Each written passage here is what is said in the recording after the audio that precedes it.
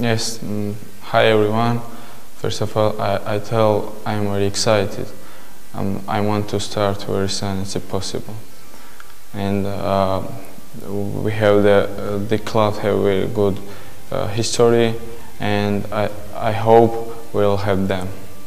Of course, we want to win this league uh, or cup, let's see, and we want to uh, play as good what we can.